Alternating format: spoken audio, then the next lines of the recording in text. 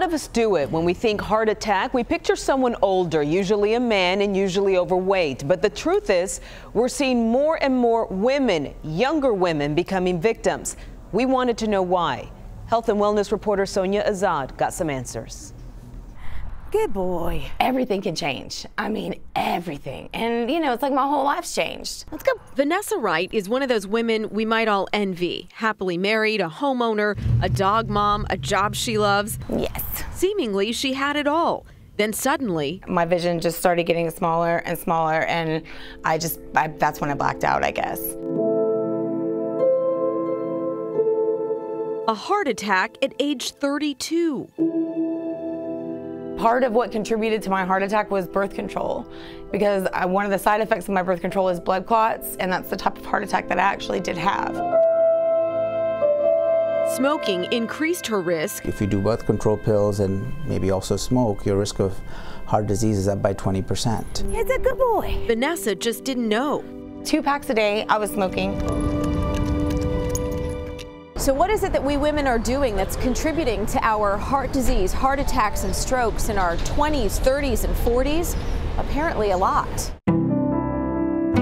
A recent Cleveland Clinic study shows almost half of women in America are in the dark when it comes to knowing the risks of heart disease. The number one risk factor for heart disease is smoking. So if you're smoking, you need to quit. Other red flags, ladies, high blood pressure, high cholesterol, diabetes, and family history. First time around, I felt um, pain in my shoulder. Ready? Go. Melissa Salazar survived two heart attacks last year. She's 43 and a working mom with high cholesterol, Yay. but she ignored it. I'm young, but it happened to me. It can happen to anybody. We've cut the death rate of heart disease by 50% in the last 20 years, but most of that has been in the older folks. Dr. Lokhandwala says younger people are coming through his doors with heart disease more than ever before. That happens more in younger people because they don't think they would have it. He says our collective heart problems could stem from undiagnosed congenital heart disease or pregnancy related weakening of the heart but also high stress, going overboard with alcohol and excessive stimulants like energy drinks, coffee, weight loss pills, and Adderall. Sound familiar? Oh, yeah, that was exactly the life I was living. Exactly. Heal up, come on. Vanessa wants her wake up call to be yours. It was really a huge awakening to realize that, like, it doesn't matter.